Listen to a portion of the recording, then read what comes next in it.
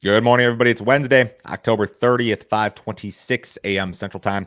December corn futures down one and a half at 412 and a quarter. November soybeans up two and a half at 967 and three quarters. December Chicago wheat is down five at 565 and a half. December Kansas City wheat down seven and a quarter at 567. December spring wheat is down six and a half at six dollars even. Let's start off with this CME slash FCM story. So the CME has received approval to establish a futures commission merchant. The FCM will allow market participants, such as traders, farmers, and funds, to directly buy and sell futures on the CME marketplace, bypassing conventional brokers. Some in the financial industry say the move is a conflict of interest because the CME can now operate as both a futures exchange and a brokerage. Critics say the move could lead to the CME having too much control over risk management and self regulation. Those in favor of the FCM say it will streamline processes and lower costs for investors, as well as eliminate market inefficiencies. With regard to um, farmers who trade the markets, or maybe your grain elevator who trades the markets, um, it goes something like this, especially for farmers. Let's do that example you probably have a broker and maybe he's local to you. Maybe he's in your neighborhood or in your county or in your state. Maybe he's in Chicago. He's probably operating as what we call an introducing broker. Um, I've been an introducing broker for 12 or 13 years. And before that, I worked directly for the clearing firms as a broker. But what an introducing broker does is they introduce business to an FCM. And who are those FCMs? They'd be like uh, the ones you guys might be familiar with would be, you know, RJO, Stone, ADM, IS, uh, those those sort of groups. Those that's the name at the top of your statement, but your broker may be operating under a different name. So what's happening here essentially is CME wants to be the RJO StoneX ADM IS is what they want to be because they can make more money doing that for a couple different reasons. They can collect commissions, uh, they can earn interest on customer funds, which is something that FCMs do currently. This thing dates back to 2022. That's when they filed the paperwork. It was uh, September of 2022, I believe. When you look at the top FCMs, I think the ones again that are most used by farmers are probably ADMIS, RJO, and Stone. If you guys have been trading for long enough, like if you've if you've been farming for 30 years and you've been trading futures during that time frame, you've probably been through some F, for some different FCMs. Your broker's probably moved around a little bit. I've been in the commodity business for almost 20 years and I've been at, I think, four different FCMs. I was at Iowa Grain, I was at Man Financial, I was at MF Global when they went public. Uh, I moved when they went bankrupt. So, like, you've probably moved around a little bit, and that may happen to you again. Eventually, whoever your broker is, whichever firm he's clearing, he may decide, hey, it's it's I it's more efficient to me for me to go with this new uh, FCM that CME has created because the fees are lower and uh, maybe it's easier to go direct. I don't know. I don't think these FCMs are they're not going out of business or anything. They're going to continue to do business, but it might be bad news for some of them. They're going to lose some business. They might lose some employees. Um, in terms of the conflict of interest piece, uh, this was from an, one of the articles that was out, and there was a whole bunch of them. Historically, FCMs has have served as intermediaries in futures trading, handling trades, and managing risk for clients outside of clearinghouse membership. This model relies on what's called risk mutualization, where a diverse group of FCMs collectively manages the risks associated with large and complex trades, particularly in volatile markets like commodities. Critics argue the CME's move could threaten this balance by giving the exchange too much control over risk management and self regulation, which they be- believe should remain decentralized across multiple firms for both transparency and market stability. I'm no expert on uh, risk management at the clearing firm level, but I would tend to uh, agree with some of that. So I don't think there's any immediate impact for you guys, but I think down the road, yeah, you may just see a different clearing firm at the top of your brokerage statement would uh, be something that's that's possible or probable.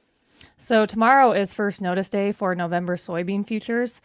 The days preceding first notice, especially in years with big crops, are often associated with weakness in both futures and spreads. While both markets have been soft, we've seen no collapse.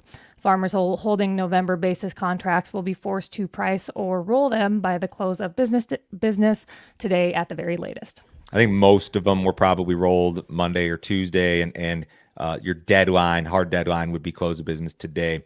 Um, the board's been weak, but I had thought that maybe Nova Bean futures would make some fresh lows going into first notice, and I suppose they still could today. But it's it's held together slightly better than what I had anticipated in these years with big crops. There's just there's usually a lot of basis contracts, and um, we're not seeing that. The spreads have been funny because I think somebody blew up at the top. We had talked about how there was probably some commercial entity who was maybe caught short the spreads or caught short Gulf basis, and you saw some crazy movement. And they've added a whole bunch of carry into some of these spreads over the last three or four days, but uh, you're not as wide as, as you had been back in September. So it's it's not a good action, but I thought maybe it could have been worse. I don't know.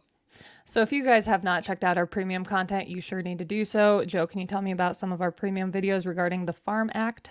So if you don't know what's going on with the Farm Act, you should sign up for the premium subscription today because this is potentially a windfall of direct government money for you as a farmer. And it's going to be everybody if it happens. I did a survey following the video with Paul Neiffer that we did initially on Thursday last week. And I asked my subscriber base, are you guys in favor of this stuff, these direct payments to uh, subsidize farmers because of, of bad prices and bad markets, or are you not? We ran through the results and a lot of the commentary yesterday. Super interesting stuff. Um, both of those videos, the, the, the initial explainer and then the follow up, which actually included some additional details, also were included in this morning's email. If you guys want to see the premium stuff, go to standardgrain.com. You can sign up this morning. It's a $50 per month subscription. You can cancel at any time. There's no other fee, there's no other obligation. Nobody tried to sell you anything else. Um, you can sign up super easy on your phone. Uh, we do Apple Pay, Google Pay, Cash App, credit card. It takes like 30 seconds to do. Everything that we send out is very accessible on your phone. There's no PDFs to open. There's no login credentials. The videos are one click to play. Uh, sign up this morning. I'll forward you a copy this morning's email, guys. Rain will return to the U.S. Corn Belt this week. There is some rain on the radar over parts of North Dakota, South Dakota, and Minnesota this morning. The five day Euro model indicates widespread rainfall across much of eastern Kansas, Missouri, Iowa, Illinois, Minnesota, and Wisconsin. The 5 to 10 day period involves heavier rains across many of the same areas, but includes areas further east and further south. Government projections indicate some minimal improvement to levels on the Mississippi Mississippi River around November 9th. So a lot of you guys are done with harvest. You've wrapped it up, and those of you guys are not done. If you're not done, maybe you could use a couple days off. And it looks like you're going to get it here. The rains are much needed. It's incredibly dry. It's become incredibly dry very, very quickly. The river levels are a problem. I think the dryness in general is a problem. Um, we saw this uh, last week reported that U.S. corn areas experiencing a drought were 76%, which is the highest level since October of 2012.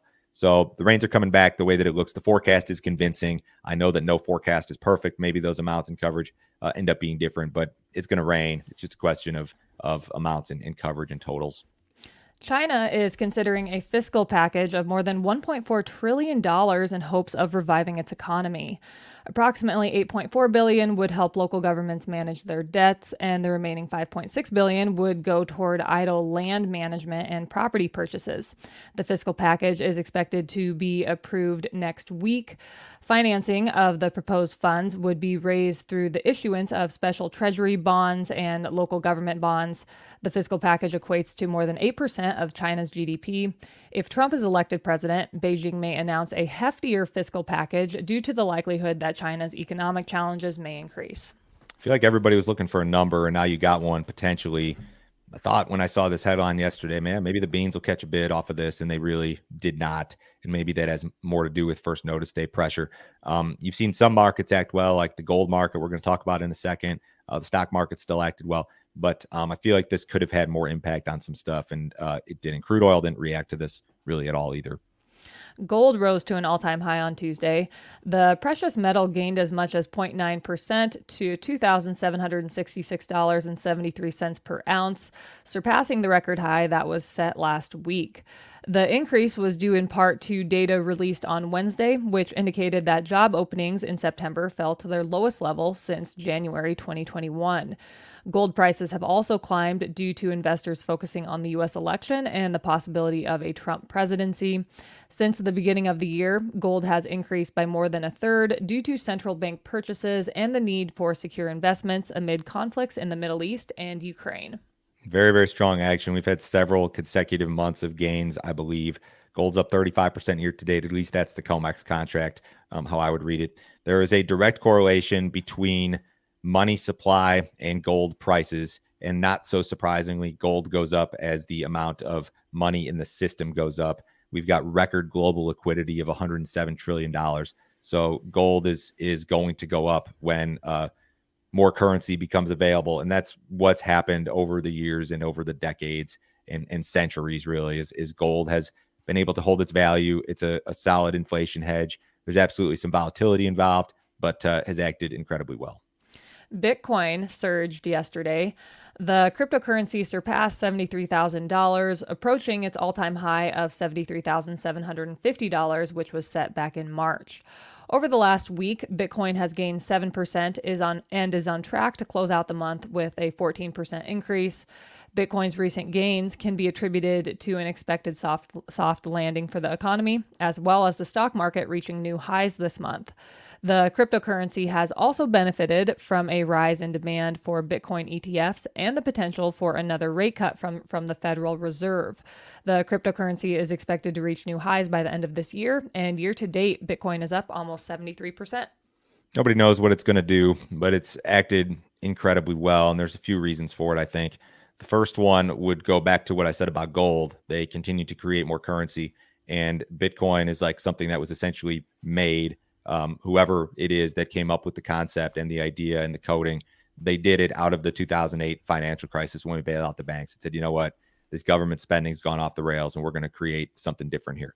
And that's what happened. From a technical standpoint, this is old school technical analysis. This is not a prediction. This is just what the charts say. We had a bull flag pattern on the monthly or weekly chart, and it looks like we've broken out to the upside. Uh, I double checked this work with Brian Split, who's much better at charts than I am but this projects to like 120,000 ballpark if this pattern is to complete itself. And whether that happens by the end of the year or three years from now, I don't know. That's what the chart says. Uh, one of the interesting pieces of news out there is that Bitcoin, or not Bitcoin, Microsoft is going to vote on whether or not it should add Bitcoin to its balance sheet. They've got a whole bunch of cash. They don't know what to do with it, and they're considering this. That's just one of of many friendly headlines out there. You've got these uh, people like your BlackRocks of the world who are who have the ETFs and they're pushing them pretty hard, who are are talking positively about it now. And if you go back, you know, even five years, the stuff that we're talking about is unheard of. Microsoft thinking about putting Bitcoin on its balance sheet, people would be shocked by that if you told them that five years ago. Same thing with the with the ETF um, deal. It's all uh, it's all like very mainstreamish now, where it was much more underground just not that long ago. Uh, what did cattle do yesterday? Uh, cattle futures had a tough day. Live cattle were 87 cents to a buck 60 lower.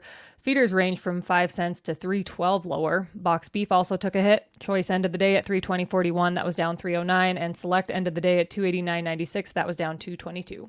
Outside markets this morning, uh, U.S. dollars off just a little bit. Stocks are mixed. Bonds are up. Gold's up 15 bucks. Crude oil is up 68 cents, and the December WTI at 67.89.